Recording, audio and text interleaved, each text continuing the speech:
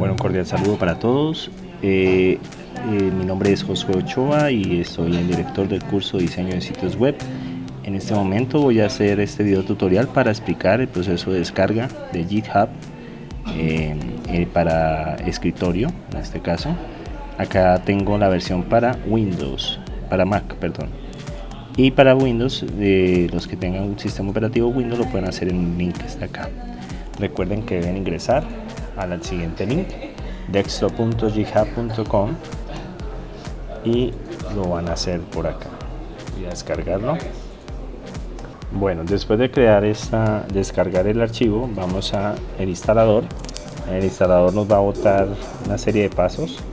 Y si no tenemos una cuenta ya creada en GitHub entonces eh, le decimos create your free account.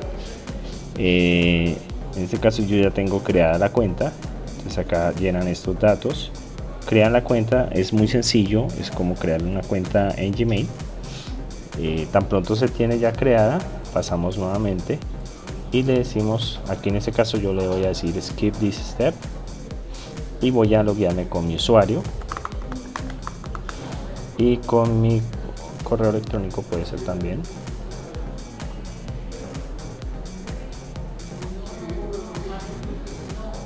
le decimos entrar. Podemos crear un nuevo repositorio podemos adicionar un nuevo repositorio podemos clonar un repositorio ya existente. Bueno aquí vamos a entrar. Voy a decir clonar un repositorio aunque no lo tengan pues ya previamente eh, pueden loguearse en su cuenta. Aquí ya estoy logueado con mi cuenta. Entonces yo lo que voy a hacer para loguearme desde el desktop es decir acá clonar un repositorio voy a decir github.com le va a decir loguearse entro mis credenciales puede ser el correo electrónico o el nombre de usuario y una contraseña la contraseña que ya previamente tengo.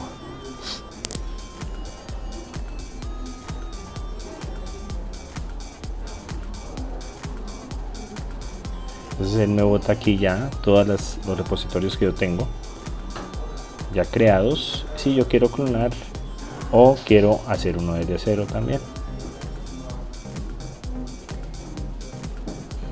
Las versiones de github.com son eh, libres eh, y por ser libres eh, deja que se muestre la información directamente en la página.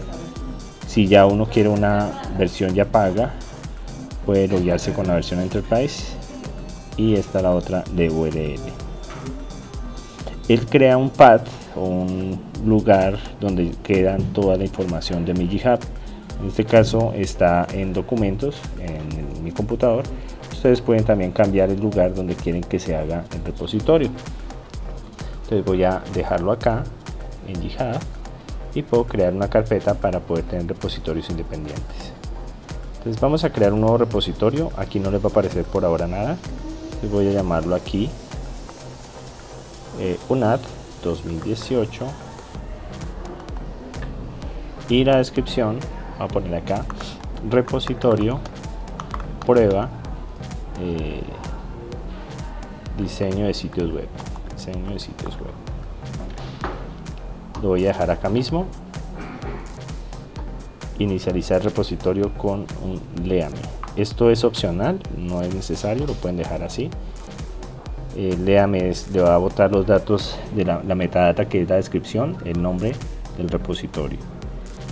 Eh, aparece git ignore es para poder evidenciar qué es lo que yo voy a programar acá si voy a programar en C++, si va a ser en Java etcétera. Entonces yo lo que voy a escoger es opcional también no es necesario. No aparece HTML dejémoslo entonces así y la licencia también lo puedo yo escoger una licencia OpenGNU una licencia Apache o una GNU GPL que son de software libre. De todas maneras GitHub el repositorio viene ya con una licencia de uso libre GNU eh, para que se pueda eh, compartir. Listo voy a crear el repositorio. Y listo ya quedó acá entonces yo puedo crear dentro de ella voy a ir a, acá a mi navegador mi finder caso ustedes es explorador de windows y voy a mirar acá donde está en documentos aparece la carpeta GitHub una 2018 ya está creado el repositorio. Yo puedo crear directamente la información acá mismo dentro de la carpeta una 2018 o crear un archivo HTML con un eh, editor de código. En este caso yo tengo aquí mi Sublime. Voy a crear un nuevo archivo y voy a guardarlo allá mismo. Eso es para facilitar la creación del archivo HTML eh, directamente y ustedes pueden programar dentro de la misma carpeta. Entonces yo voy a crear acá en documentos el archivo index.html la ventaja de usar este este editor de código Sublime Text que lo, pueden descargar también desde el sitio web de Sublime o en Google colocan download o descargar Sublime Text es que si yo guardo como archivo HTML o cualquier extensión él va eh, con solamente colocar las siglas HTML y la tecla tab, tabulador, van a poder crear el, cuerpo del HTML. Por ahora no, eh, en esta actividad no se exige que, que, sea un HTML complejo, sino solamente un archivo de indexación a un sitio web. Entonces voy a colocar acá eh, mi primer HTML y en el cuerpo lo pueden dejar como está o colocarle hola mundo, el famoso hola mundo. No importa que no tengamos tags de párrafo ni, ni, otro, eso lo vamos a ver en, en posteriores eh, sesiones. Listo, lo vamos a guardar. Ya vemos acá que aparece ya el index. Y voy a, a entrar acá cuando ya estoy en el repositorio, él sincroniza automáticamente el archivo. ¿sí? Y acá empiezo ya a crear el archivo HTML. Aquí voy a poner un commit, ¿sí? que es como un comentario de mi primera versión. Recuerden que esto es un controlador de versiones y como tal lo que hacemos es colocar cada apunte cuando se haga una mejora. ¿sí? También lo puedo hacer desde acá mismo, pues se puede eh, editar pero lo voy a, lo voy a hacer, lo vamos a hacer desde acá. Entonces voy a hacer acá cambio 1, eh, inicialización, inicialización de mi HTML y le voy a decir commit to master. Listo, ya quedó el primer comentario. Para publicar este, como no aparece todavía en línea, si vemos acá la página, vamos a mirar nuestro repositorio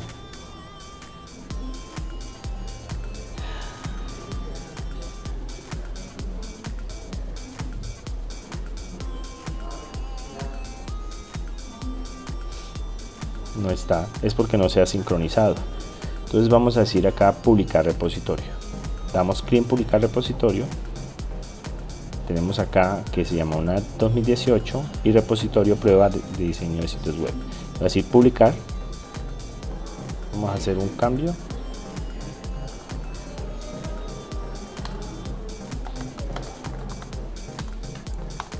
Listo, guardamos verificamos que él identifica que se ha hecho un cambio y le voy a decir acá un comentario. Segundo comentario un cómic que se llame cambio 2 y aquí le voy a decir colocación de colocación de un eh, de hola mundo.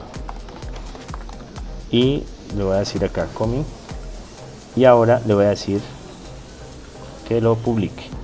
Tengan presente que los la publicación no debe hacerse de forma privada. Para poder para hacerlo de forma privada debe tener un plan para poder eh, pagar como tal. Listo vamos a hacer vamos a darle control R o F5 y observen que acá aparece una 2018 ya se ha colocado. Y ya tenemos nuestro repositorio. Bueno entonces ya tenemos acá nuestro nuestra sincronización. ¿sí? ya se hizo. Acá si quieren ver los branches que han realizado aparece acá. Hace poco se hizo el, el, comment, el comentario. Eh, y miremos que en la parte ya de publicación quedó publicado el index HTML dentro de el repositorio llamado Natio 2018 en este caso. Em, aquí se han, se han visto, se ven reflejados los tres comments que hice. Cambio 1, cambio 2 y el commit inicial que es el que da la bienvenida. Esos comentarios son buenos porque yo puedo deshacer o rehacer esos eh, eso, que, eso que se haya modificado dentro del índice. Le doy clic en el repositorio y ya aparece acá el archivo HTML con su respectivo comment. Entonces, para publicar la actividad es este link que ustedes copian. Observen que, que tenga estos tres componentes. github.com, la página web, el, el, nombre de usuario que ustedes colocaron, Ochoa Torres, y el repositorio que se llama prueba o en el caso mío yo le puse una 2018 listo ese lo copian verifican por favor si quedó copiado eh, o si quedó bien de forma pública. Yo voy a hacerlo acá con un navegador. Y ya está. En el caso mío lo hice con Safari. Acá no estoy logueado para que vean que, que funciona. Y acá aparece el archivo index.html Pueden descargar, digamos, compartir con sus compañeros, descargar este mismo archivo en .zip, eh, dándoles la URL para que ellos puedan modificar o también pueden eh, invitarlos en su sesión para que ellos vayan modificando el archivo. Esto, recuerden que todo se hace local, lo pueden hacer en línea también, pero la idea es que lo hagan local para sincronizarlo. Listo muchachos, entonces acabo voy a darle clic se puede ver el código, está el mundo dos veces y funciona bien. Entonces cualquier inquietud estaremos, eh, la red eh, de curso estará pendiente, sus respectivos tutores, en el caso mío también como director, cualquier inquietud estaremos prestos a resolverlo. Muchas gracias.